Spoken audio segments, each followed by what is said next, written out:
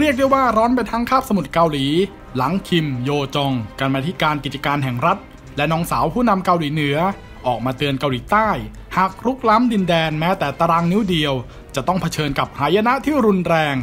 และกองกำลังนิวเคลียร์จำเป็นที่จะต้องปฏิบัติหน้าที่อย่างหลีกเลี่ยงไม่ได้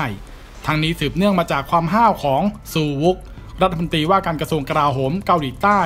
ที่กล่าวระหว่างไปเยือนศูนย์บัญชาการยุทธศาสตร์มิสไซล์เมื่อ 1 เมษายน 2565 ระบุว่ากองทัพมีขีปนาวุธหลากหลายรุ่น ซึ่งได้รับการพัฒนาทั้งพิสัยการยิง ความแม่นยำ และพลังทำลายล้าง สามารถที่จะโจมตีเป้าหมายในเกาหลีเหนือได้อย่างรวดเร็วและแม่นยำ โดยเกาหลีใต้มีความสามารถและพร้อมเปิดฉากโจมตี หากจับได้ว่า สมแดง ตั้งใจที่จะยิงมิดไซล์เพื่อโจมตีดินแดนของตน นั่นจึงทำให้โยจองออกมาจวกว่าคำพูดที่เลินเล่อและไร้เหตุผลเกี่ยวกับการเปิดฉากโจมตีก่อนนั้น จะยิ่งทำให้ความสัมพันธ์สองชาติเกาหลี เสื่อมทรามลงมากขึ้น เกาหลีใต้อาจเผชิญกับภัยคุกคามร้ายแรง เนื่องมาจากการแสดงความเห็นที่ไม่ระมัดระวัง จากรัฐมนตรีว่าการกระทรวงกลาโหม ที่สมควรต้องลงโทษวินัยตนเอง หากว่าต้องการที่จะเลี่ยงหายนะ และล่าสุด 5 เมษายน โยจองก็ยืนยันว่าเกาหลีเหนือไม่ปรารถนาให้เกิดสงครามขึ้น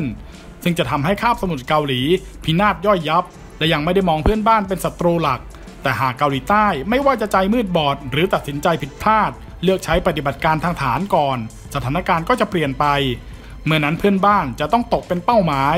พร้อมยืนยันว่านี่ไม่ใช่การขู่ แต่เป็นการอธิบายถึงมาตรการตอบโต้ ต่อปฏิบัติการทางทหาร ที่ไร้ความยับยั้งชั่งใจ ซึ่งอาจจะเกิดขึ้นจากฝั่งเกาหลีใต้ พร้อมเตือนให้เพื่อนบ้านหยุดฝันหวานว่าจะเป็นฝ่ายชิงโจมตีก่อน